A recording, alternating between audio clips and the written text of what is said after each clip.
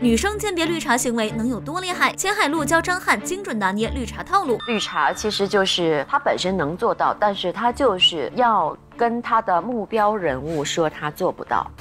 说，比如说我看上张翰了，然后呢拿下来矿泉水，啊，拧不动，啊，拧不动，就是他拧了，但是他没拧动。我帮你拧一下吧，来。对，这就来，谢谢。节目里听到张馨月一直矫情的哭诉，钱海璐直接听不下去了。你要说不要了，那你以后就不要再为这件事情委屈。人家替你出头，你又要在这里委，你又说不要，转过头来自己，你你在干嘛呢？在搞什么嘛？我觉得。不能简单点吗？矫情什么？恋综节目里，连怀伟看不出女生穿衣小心思，大 S 直接看破一切。男生根本看不出来女生自不自然，然后反倒那个朱云慧，她其实打扮的很心机，就是她穿的裤型啊，还有她露出她的肚子、小蛮腰，然后她的锁骨，然后这边好像很随便，可是都还有那个纱，真的。他是有点那个小心思的。吴宣仪在线分析绿茶套路，我觉得这种不算什么段位特别高的，你知道吗？就是说明明知道对方有女朋友或者是有男朋友，他非得去去还还去跟人家联系。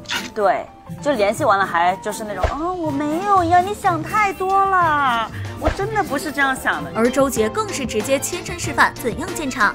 我就给他拨过去了。他说你是谁呀？然后我说我是杰姐。哦，杰姐好呀，杰姐好。你别误会啊，我现在有男朋友了。我说你这样子打电话，男朋友不吃醋吗？而且凯哥啊，他都不理你的，朋友是不会这样不理你的。我说这是我的电话，你记下来，我理你。他说，嗯，好的，杰姐。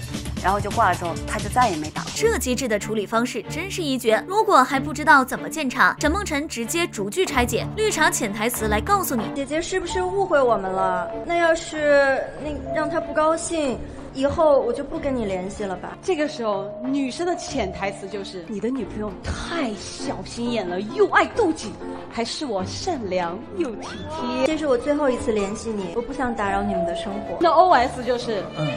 你看我多可怜，是不是想马上跟你的女朋友分手，和我在一起呢？这鉴察能力是真的强啊！